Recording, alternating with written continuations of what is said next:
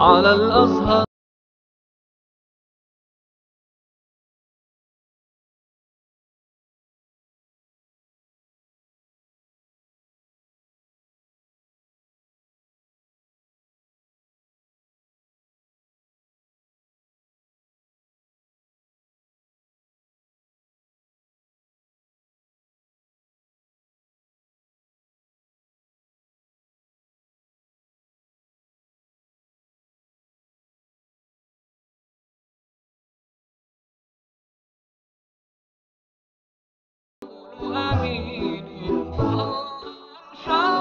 أعوذ بالله من الشيطان الرجيم. بسم الله الرحمن الرحيم. الحمد لله والصلاة والسلام على رسول الله.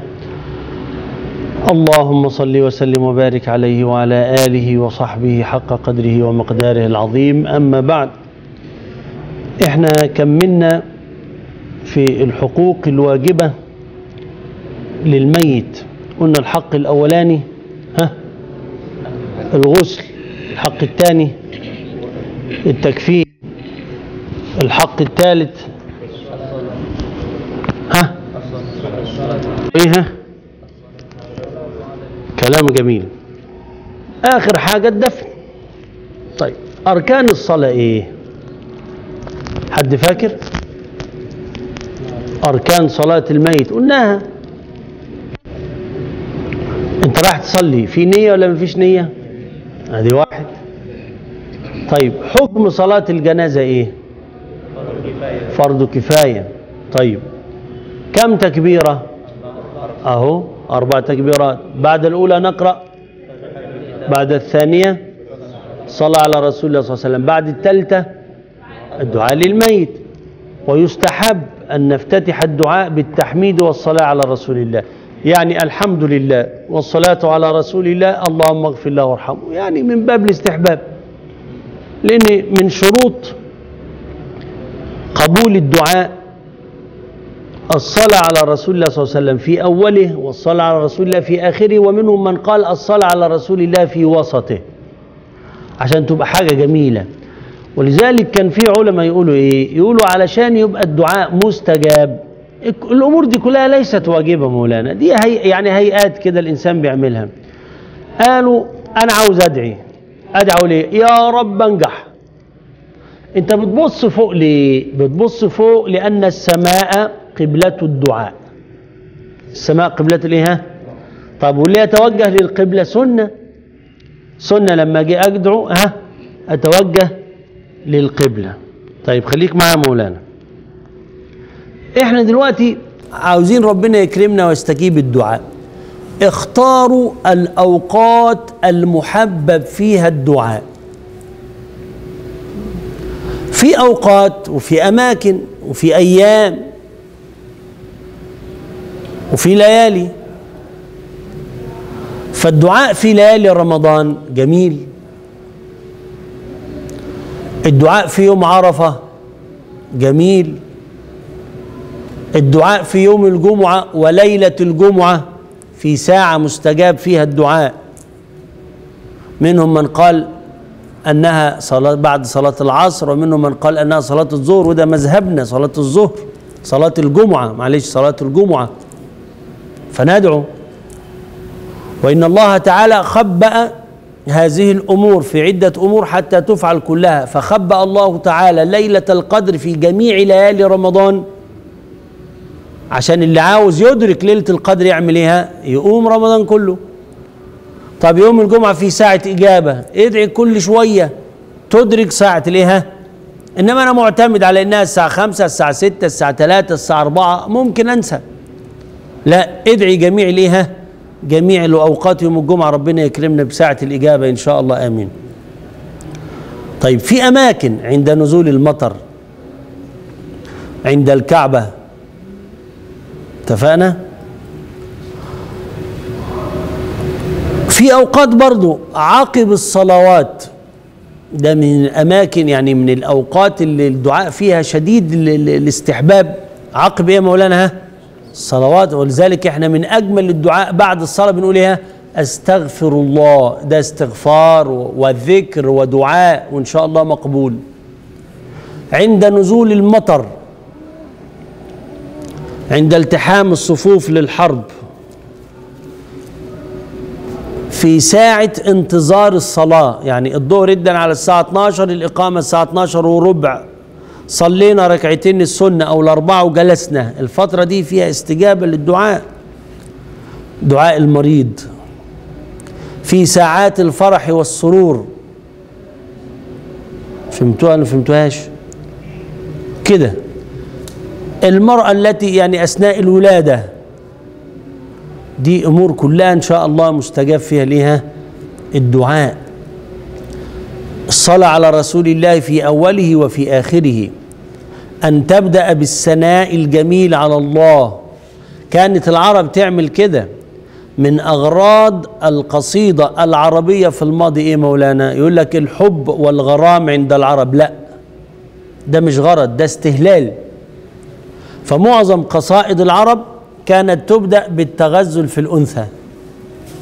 حتى كعب بن زهير لما مدح النبي صلى الله عليه وسلم قال له إيه أول ما بدأ؟ قال له إن الرسول لنور يستضاء به ابدا البانت سعاد. ده قالها قدام النبي صلى الله عليه وسلم. ولذلك يقولون إيه؟ يعاب على القصيدة العربية أنها عليه الصلاة والسلام عدم وحدة الموضوع. ليه؟ هو جاي يمدح النبي صلى الله عليه وسلم ولا جاي يمدح سعاد؟ هو ما فيش في دماغه سعاد من أصله. لكن دي كانت عادات إيه العرب في بداية الاستهلال. عشان كده قال له حتى الأغاني فاكرين الأغاني لما كانوا يبدأوا لك يا ليل يا عين؟ وال- والأغنية لا فيها لا ليل ولا فيها عين صح؟ أنتوا عارفين الكلام ده ولا ما تعرفوش؟ كان الأغاني المصرية زمان تبدأ بيا ليلي يا عيني. دي يعني ملهاش دعوة. إحنا بقى نعمل إيه؟ إحنا عاوزين نطلب من ربنا سبحانه وتعالى. العرب كانوا يقربوا الأنثى إحنا مش هنقرب الأنثى إحنا نقرب اللي ربنا بيحبه. ربنا بيحب مين؟ بيحب سيدنا النبي صلى الله عليه وسلم. ولذلك يا سيادنا كانوا يقولوا إيه؟ دي نصيحة نصحها لي أحد شيوخ السودان ربنا يكرمهم. قال لي لما تدعي صلي على رسول الله صلى الله عليه وسلم مرة واحدة بأحب صيغة إليك. أنا أحب صلى الله عليه وسلم. يا سلام لكن أحلى منها صلى الله عليه وعلى آله. أحسن منها الإبراهيمية. فهمتوها؟ اللهم صل على سيدنا محمد وعلى آل سيدنا محمد لأن لو ما فيش الآل تبقى بطراء. بطراء يعني قليلة البركة. فهمتوها؟ فإحنا نحط الآل. طيب ونحط السلام لأن الصلاة على رسول الله من غير سلام مكروهة.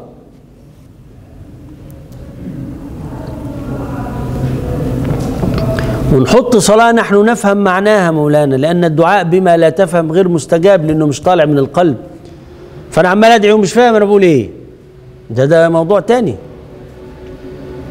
يبقى إحنا عملنا إيه دلوقتي؟ حطينا الصلاة وحطينا السلام وحطينا الإيه الآل أحط إبراهيم.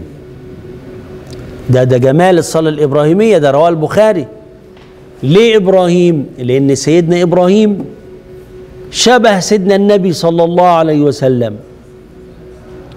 سيدنا إبراهيم اللي سيدنا النبي من نسله. وعلى فكرة إحنا كلنا من نسل الأنبياء. حد يعرف المعلومة دي؟ كل الخلائق من نسل آدم. وكل الخلائق من نسل نوح.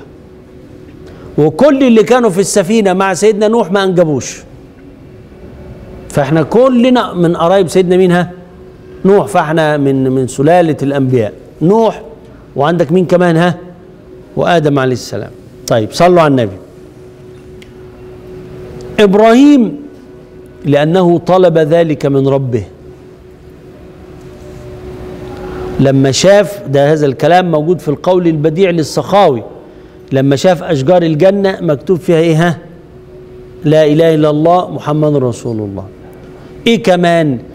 إن سيدنا إبراهيم عليه السلام سيدنا النبي دعوة من دعواته. ربنا وابعث إيه؟ ها؟ فيهم. ده سيدنا مين؟ ها؟ ده سيدنا مين؟ ها؟ إبراهيم فعشان كده إحنا إحنا بنقول سيدنا إبراهيم. سيدنا إبراهيم لأن أفضل الأنبياء بعد سيدنا النبي صلى الله عليه وسلم. ده ده أفضلهم على الإطلاق مولانا. فعشان كده بنقول إيه؟ اللهم صل على سيدنا محمد وعلى آل سيدنا محمد كما صليت على سيدنا إبراهيم وعلى آل سيدنا إبراهيم في العالمين إنك حميد مجيد. ماشي يا حبيبي ما تكسفش ما تخافش. هيشيلوا الكلام ده من المونتاج ما تقلقش. طيب عايز إيه يا ماما؟ هل صحيح أن الحامل تأخذ أجر الصائم القائم؟ ما أعرفش والله. لو أعرف أتكلم على طول. اخوانا صلوا على النبي. الحامل دي في حد ذاتها بتتألم. وما من شوكة تشك ابن آدم إلا وله فيها إيه؟ غفران للذنوب. ده معنى كلام النبي صلى الله عليه وسلم. طيب الحامل دي بتقدر تقيم الليل قد وقد؟ فإن كان فيها صحة تقوم قيام الليل. أهلا وسهلا. طب ما فيهاش صحة وقعدت. النبي صلى الله عليه وسلم علمنا إن إيه؟ اللي بيذكر ربنا في الرخاء ربنا بيذكره فينها في الضراء. ومن غفل عن ورده فليقضيه. طب ما قدرش يقضيه. ربنا اداهوله. ما مش قادر بقى صبح وبالليل. هي لما ما كانتش حامل كانت بتعبد ربنا وتصلي.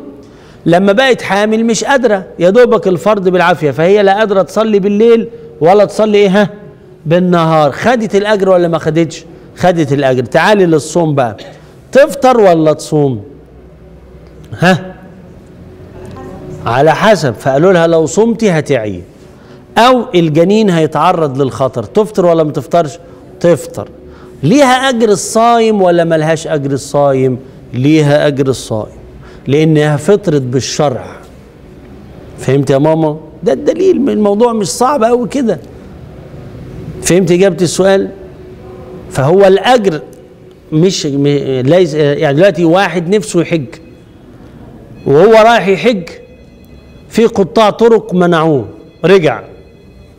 مش ده اللي هو أحصر؟ خد ثواب الحج ولا ما خدش؟ خد إنما الأعمال بالنيات. فهي الست الحامل دي كل سنة بتصوم.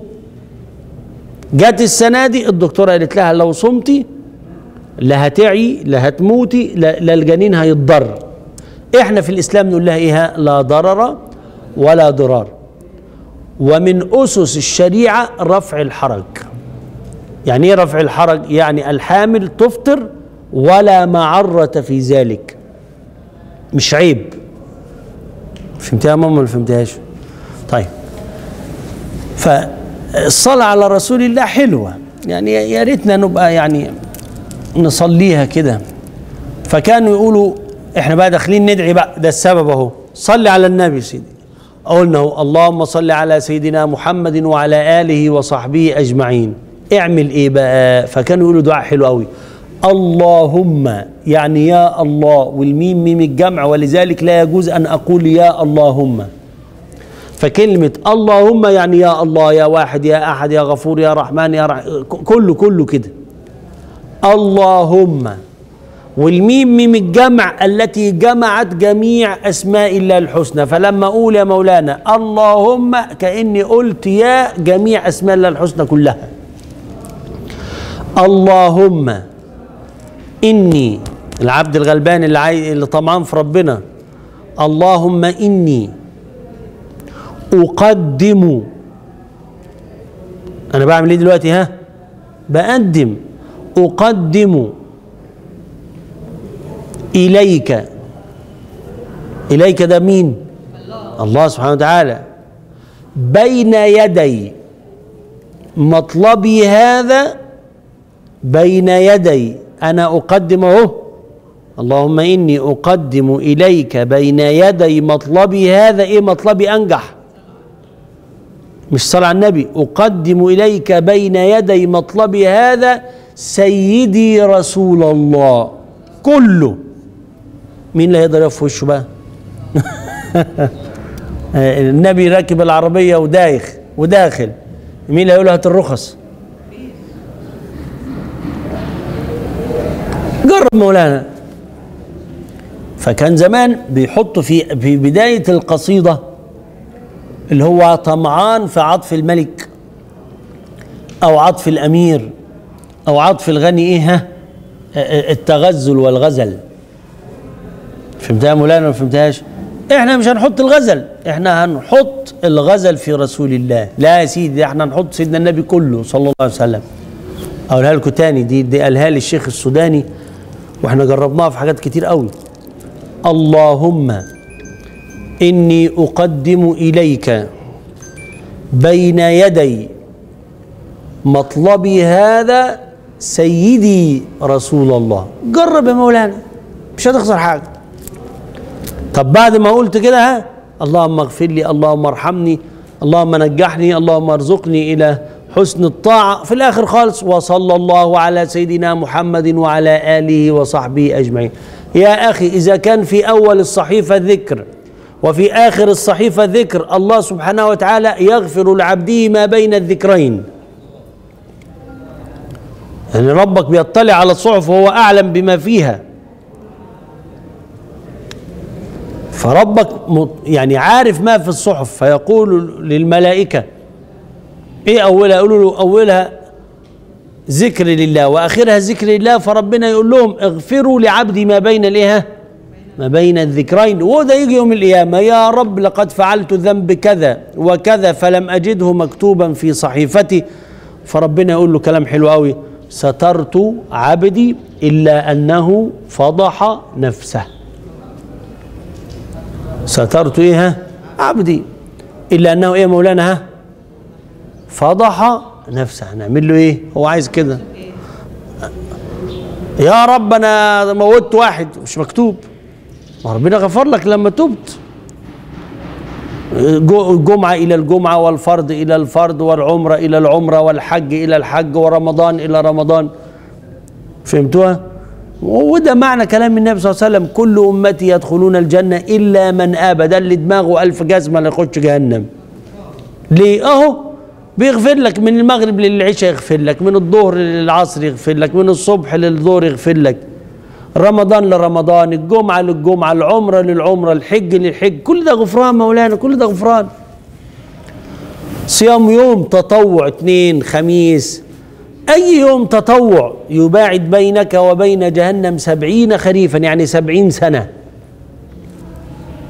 كل يوم يعني فما بالك برمضان ده؟ رمضان ده حسنات مضاعفة أضعاف الأضعاف. يبقى الواحد لو صام رمضان سنة واحدة بينه وبين جهنم شوف قد إيه. فالجنة قريبة. وأقرب طريق إلى الجنة حب رسول الله صلى الله عليه وسلم. المرء مع إيه يا مولانا؟ مع من أحب. شد حيلكم ربنا يكرمنا يكرمكم إن شاء الله. صليت امبارح فين؟ وكان اليوم الجمعة في الروعة من الجمال صليتي فين اسمه شيخ هشام بن انت صليتي فين؟ صليتي فين بجد؟ والله رحت صليتي هناك. طيب. وميزت الصوت؟ ميزت الصوت معقول ده أنا ما بسمع ده أنا لما بسمع صوتي ما بعرفش. اتلين أنا قلت في الميكروفون ومع فضيلة الشيخ هشام. شفت؟ أهو عصام وكيل أعمالي كان حاضر وما عرفش أنا أنا بخطب. أهو. اسأليه. ده ربنا شفتي ربنا عمل فيه إيه؟ كل اللي أغضب عليه ربنا بيعمل فيه كده. خلاص رديت عنك. يلا. جت عليا. لا بس الصوت في الميكروفون بيتغير. ما بيتغيرش. يلا يا رجالة حد عايز حاجة قبل ما ننقل؟ فهنا علشان خاطر ربنا لما نيجي ندعي للميت ابقوا صلوا على النبي صلى الله عليه وسلم. أحرى في القبول. أحرى فين؟ ها؟ في القبول. بعد كده يا مولانا الله أكبر. وندعو لينا وللميت. اللهم لا تحرمنا أجره ولا تفتنا بعده. خلاص. طب الشيخ طول. اللهم آتنا في الدنيا حسنة وفي الآخرة حسنة وقنا عذاب النار. أسلم التسليمة الأولى فرض والتسليمة الثانية هيئة. عملتيها خدت الثواب ما عملتهاش لا ثواب ولا عقاب ولا سجدتين سهو عشان كده بنقول هيئة. رفع اليدين في أول تكبيرة واحدة اللي هي تكبيرة الإحرام ولا في كله؟ على مذهبنا إن رفع اليدين في الأربع تكبيرات هيئات. ارفع يا مولانا. طب واحد مش هيرفع أنت حر؟ مش حرام. جهرا ولا سرا؟ إحنا اتفقنا إن جميع السنن النهارية جهرا ولا سرا؟ جميع السنن النهارية سرا. وجميع السنن الليلية ها؟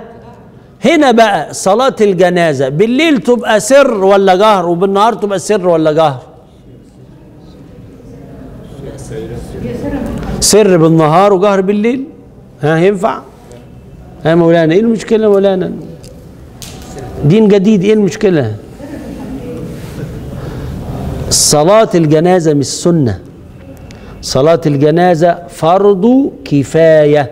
يعني إيه فرض كفاية؟ إذا قام به البعض سقط الإثم عن الباقين. صلاة الجنازة ليست سنة فإحنا صليناها زي ما النبي صلى صلى الله عليه وسلم. فصلاة الجنازة سرا بالنهار وسرا بالليل. ده موضوع مفروغ منه. نقول تاني يا سيادنا؟ في مشكلة؟ طيب. لو في طفل صغير الطفل الصغير ده مبرأ من الذنوب صح؟ طب أنا أدعي له أقول له ربنا يغفر له ليه؟ ما ربنا غفر له. لسه القلم لم يجري عليه. القلم يجري إمتى يا مولانا؟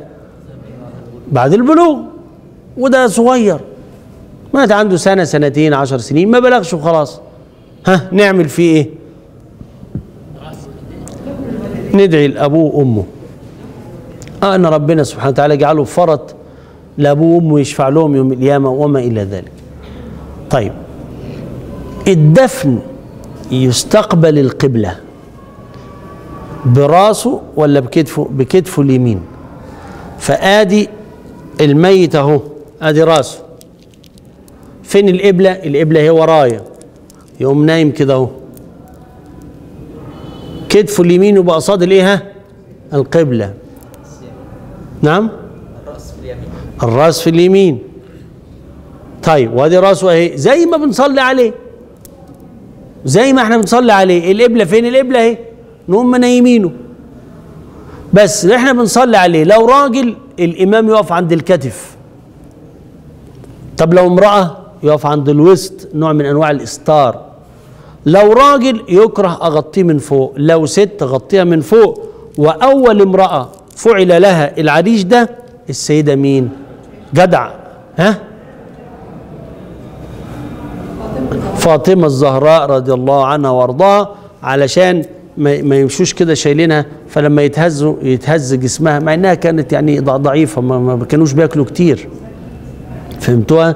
لكن ده نوع من أنواع الاستار فهي قالت لهم لما أموت اعملوا لها إيه ها؟ زي عريش كده بجريد النخل بحيث يغطيها. آه فالمرأة نغطيها. الراجل يكره ما بقولش حرام. يعني الأفضل لا.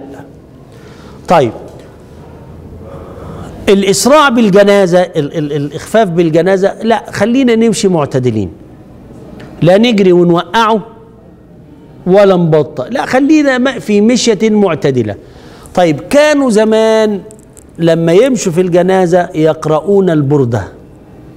أمن تذكر جيران بذي سلم. شفتوا؟ حتى الراجل لما مدح النبي صح صلى الله عليه وسلم صاحب البردة ده مات سنة 696 شوفوا حتى برضو بدأها. أمن تذكر جيران بذي سلم. مزجت دمعا جرى من مقلة بدمي أم هبت الريح من تلقاء كاظمة. وأومض البرق في الظلماء. يا سلام. شفت؟ فبدأها برضو بال بالغزل. بعد كده دخل بقى في حاجات حلوة ربنا يكرمنا بيهم. صلوا على النبي. فكانوا يقرأوا البردة لأن ما كانش فيه مواصلات. فلو مات في حدائق القبة يشيلوه من حدائق القبة ويمشوا بيه لحد الدراسة. فالمشوار يا مولانا ياخد له ساعة. فيعملوا إيه يا مولانا؟ ها؟ يسلوا نفسهم بالبردة لا إحنا ما نقراش البردة طيب وحده لا إله إلا الله لا ملناش دعوة. ليه؟ لأن الجنازة موطن ذكر الله فيها الاتعاظ والعبرة. فهمتها ولا ما فهمتهاش؟ ده مش مجال إن إحنا نروح عن نفسنا بالذكر. ده له ذكر مخصوص زي إحنا دلوقتي مع بعض أهو. واحد دخل المجلس الأفضل يقعد يسمع ولا يصلي ركعتين تحية المسجد؟ ها؟ يجلس. طيب يجلس ولا يقول السلام عليكم ورحمة الله. يكره. يا نهار أبيض. ده حكم إلقاء السلام سنة مؤكدة. ورد السلام فرض كفاية. والسلام عليكم عشرة ورحمة الله عشرة وبركاته ثلاثين حسنة. قال لك لا لأن هو هيشغل الناس. فخلينا فين يا مولانا خلينا في الدرس. سبحان الله. فهنا الموقف بتاع الجنازة ده موقف عظة وعبرة. إن كل إنسان بيتخيل إن في يوم من الأيام هيموت وهيقلعوه عريان وهيحموه والناس هتتفرج عليه وينشفوه ويحطوه في اسمه إيه ده؟ في الصندوق. وأنا عمري في حياتي ما شفت واحد بيشوف الصندوق ده فيه مسمار طالع يمين ولا شمال يشك ولا ما يشكوش. مش فارق معاه خالص. ويغطوه من الشمس ولا ما يغطوش مش فارق معاه معاه خالص ما حدش بيفكر فيه خالص. وهيرموه في التراب والكفن هيتوسخ وهيعفن وبطنه تتنفخ وتطلع الدود. عارف الدود مولانا؟ دود. دود يأكلنا يوم في القبر ويأكل كله. لن يترك إلا اللسان عشان اللسان مر والعظم عشان يبقى ذكرى. إحنا خدناه بس في الناس الغلابة بتوعنا. الانبياء ده موضوع تاني بقى. فده دود يطلع ويأزأز. مش هيسيب غير اللسان. فأنت فكر. لما الواحد يفكر في الحاجات دي آه. خلاص بقى. أنا عن نفسي كنت عايز أقدم نفسي في رئاسة الجمهورية. افتكرت إن أنا هموت قلت بلاش. إيه اللي يخليك تزهد في الدنيا وتترغ وترغب في الآخرة؟ الموت. ولذلك الغافل هو الذي يغفل عن إيه؟ عن ذكر الله. لا.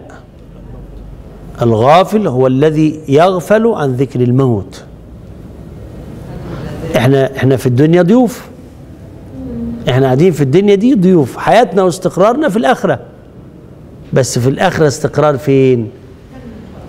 إن شاء الله على الله بإذن الله.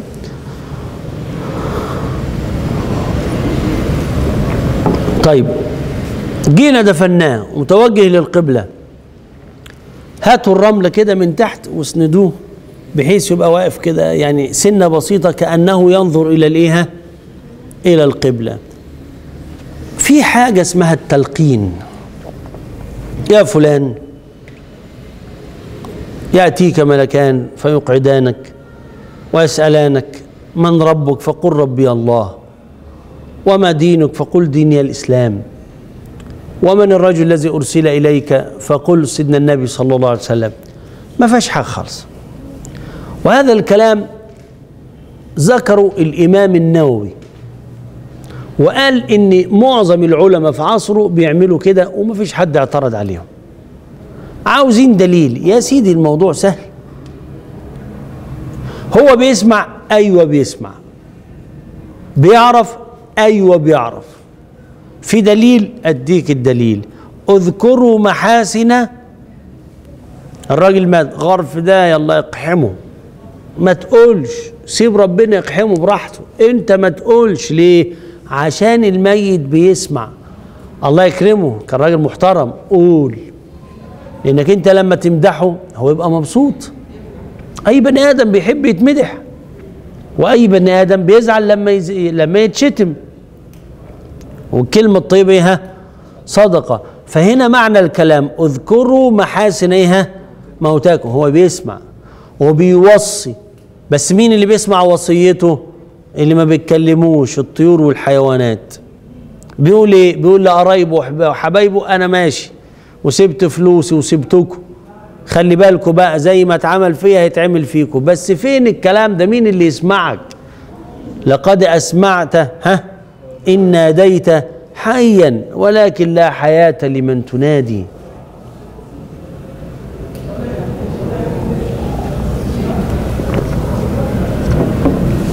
طب ولما بنروح عند القبر ابن القيم ذكر هذا الكلام في كتاب الروح يا ريتكم تقروه كتاب جميل قوي قال إذا أنت عديت على قبر وصاحب القبر يعرفك وأنا ما أعرفش إن هو مدفون هنا.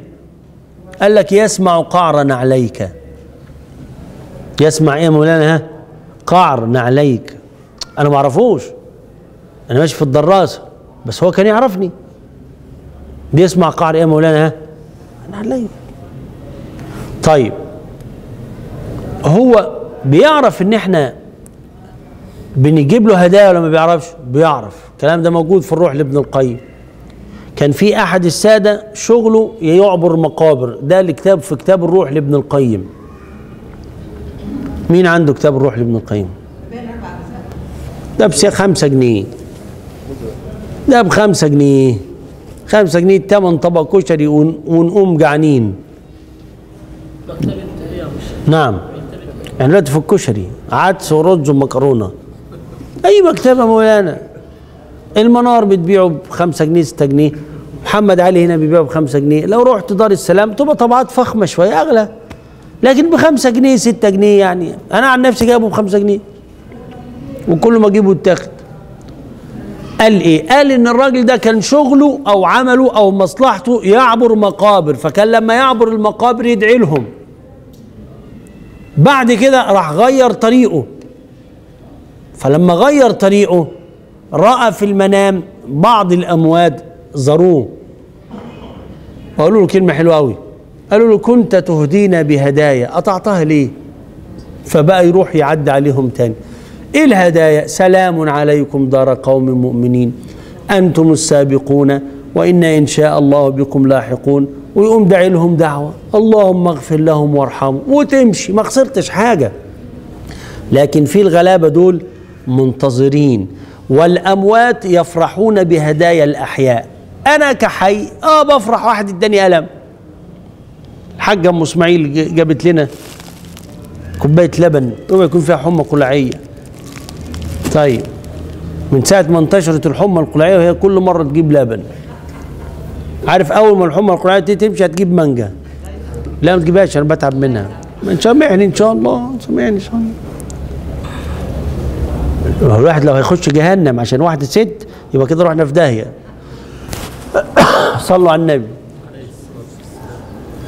ف ال- الأحياء يفرحوا بالهدايا دي. وكل إنسان له هدايا تفرحه. خلي بالك يا مولانا. فأنا قاعد دلوقتي أهو. إمبارح واحد من الناس الطيبين جاب لي ساعة إيطالي مية مية. العلبة بتاعتها جلد طبيعي ج- جل يعني علبة فخمة. تفتح كده تلاقي الساعة مربوطة في مخدة صغيرة كده. وماركة. الساعة دي بحال من الأحوال لن تقل عن 1200 جنيه.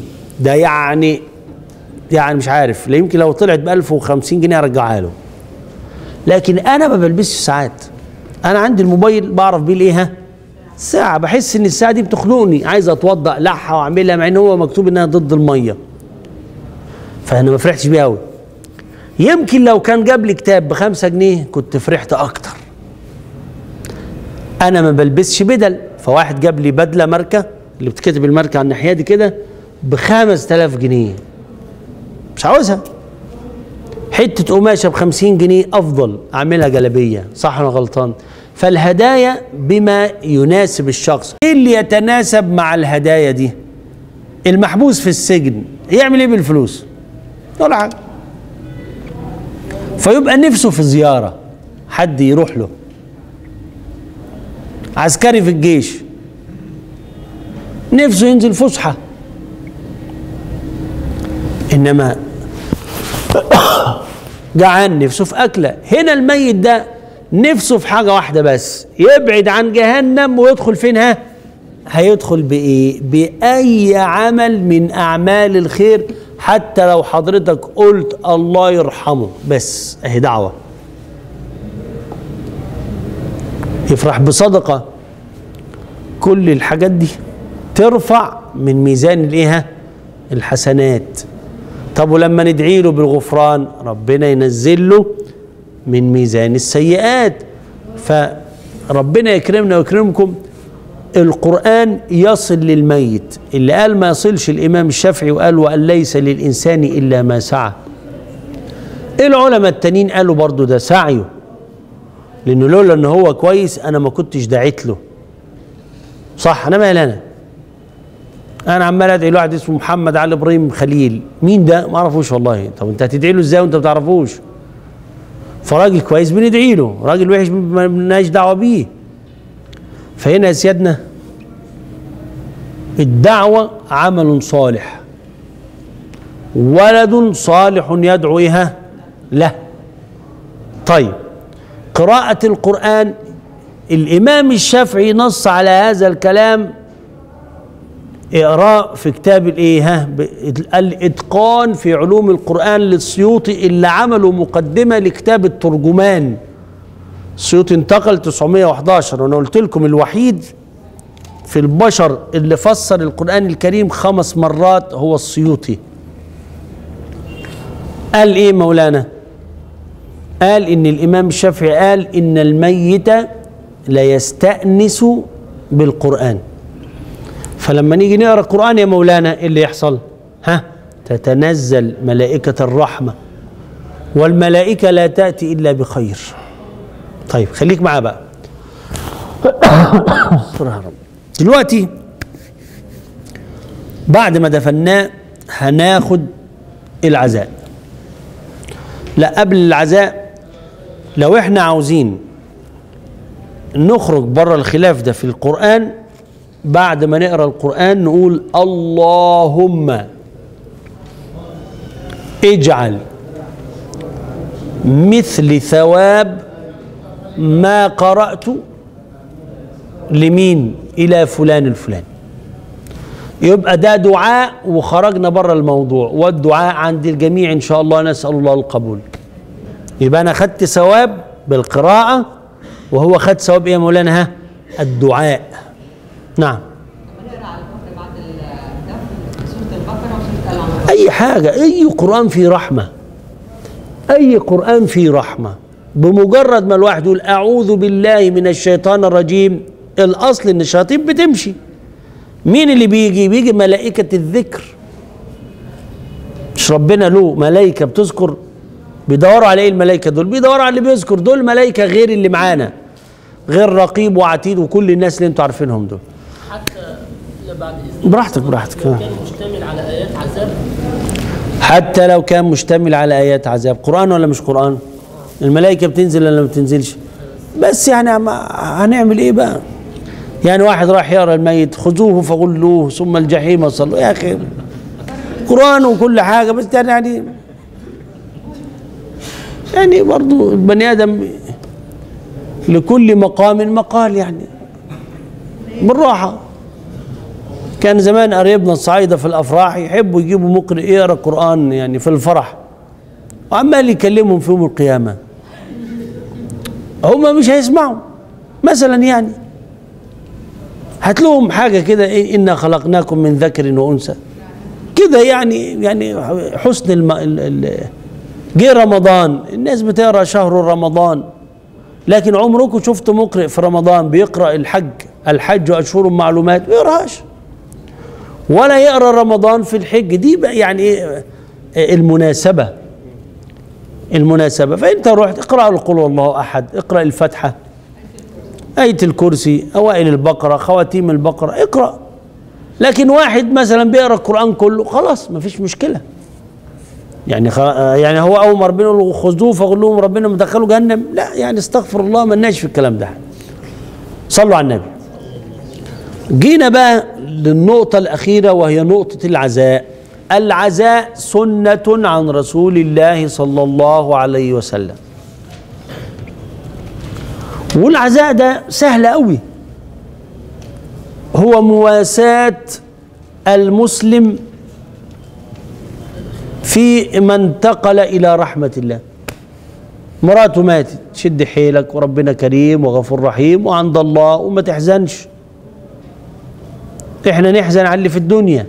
إنما اللي في الآخرة ده راح لربنا 100% كلمتين كده نواسين. ابنه مات يا أخي لله ما أعطى ولله ما أخذ. كلمتين كده إيه ها؟ طيبين كده. العزاء على المقابر. سنة. نقف كده على بقال لا بقال لا ونمشي. جينا بالليل. هل إقامة العزاء ليلا حرام؟ مش عارف. مكروه؟ مش عارف. بدعة. يعني إيه بدعة؟ قلنا لحضراتكم أنا ما عنديش حكم شرعي اسمه بدعة. أنا عندي الأحكام الشرعية اللي إحنا بنقراها في الفقه والأصول خمسة. حرام عملت هتاخد وزر. واجب لو ما عملتش هتاخد وزر. سنة لو عملت خدت الثواب. مكروه لو عملت المكروه مش هتاخد وزر. بس ابعد عنه عشان ربنا يكرمك. مباح استواء الطرفين لا في لا ولا في سيئات. فهنا حكم العزاء إيه بدعة أنت ما اديتنيش معنى مفيد. وعند الجمهور وده ما نص عليه الإمام النووي أن البدعة تعتريها الأحكام الكام ها؟ خمسة. ففي بدعة محرمة أيوة بدعة محرمة. إيه البدعة المحرمة؟ الرقصات اللي بيرقصوا في الأفراح دي بدعة ما كانتش أيام النبي صلى الله عليه وسلم. في بدعة واجبة؟ آه في بدعة واجبة. إيه البدعة الواجبة؟ حد يعرف يجيب لي بدعة واجبة؟ لا التراويح مش بدعة مش واجبة. حكم التراويح سنة. جمع المصحف. بدعة مستحبة. المدارس. أيام النبي كان في مدارس دور ودورين وثلاثة ما فيش. ما كانش فيه. بدعة مكروهة. أكل في الشارع. مكروه مش مش حرام. إحنا كلنا بناكل في الشارع. بس بقول مكروه يعني الأفضل لا الأفضل لا. نعم. تختص بالدين فقط لا ما في بدع عادات وفي عبادات وفي حسنة وفي قبيحة. لكن تعتريها الأحكام الكام؟ الخمسة. لا البدعة مش في الدين فقط. البدعة وفي غيره. كلمة بدعة من ناحية اللغة الأمر المستحدث. وفي الشرع كل أمر ليس له أصل من أصول الشريعة. ولذلك كل أمر ها؟ ليس إيه ها؟ منه ولا فيه؟ منه يبقى بره. فيه يبقى إيه ها؟ جوة. فالبدعة دي الشرعية أمر خارج عن الدين بره خالص مش تبعنا. فتعالوا بقى الميت ده لما نيجي نعمل عزا بالليل جبنا الشيخ فلان الفلاني وخد له 200 ألف جنيه. إحنا ما بنتكلمش في كده إحنا بنتكلم في العزاء. عملنا اسوان كلفنا خمسين ألف جنيه. ليه؟ بحيث الزبون اللي هو جاي يعزي أول ما يقعد الكرسي يزغزغه فيبقى جاي مكشر يضحك ويفرفش. بنجيب لهم مية يشربوا. كان زمان يجيبوا شفشة. لا شفشة إيه؟ كان يجيبوا الكوز. عارفين الكوز؟ عارفين الكوز؟ الكوز ده اللي هو حديد كده ولا سلستين؟ ده اسمه كوز. الناس تشرب. بعد كده تطور الأمر مولانا. بقى يعدي واحد بإزاز. دلوقتي تطور الأمر خالص. مش يجيب ازازه مية معدنية يجيب لك ازازه معدنية بق يا دوبك. على بال ما ترفعها مش هتقدر تنزلها تكون خلصت. ازازه ميه معدنية صغير قد كده أهو. طب افرض أنا شربتها وخلصتها أنا عايز تاني مش عارف اجيبه ولا لأ. كل ده أنا ماليش دعوة. في مناديل. بحيث لو واحد من الزبائن عايز يعيط حط له مناديل. فهمتها في طفاية عشان الناس بيشربوا سجاير. في ناس بتجيب سجاير ويعدوا بيهم اللي عايز علبه سجاير ياخد.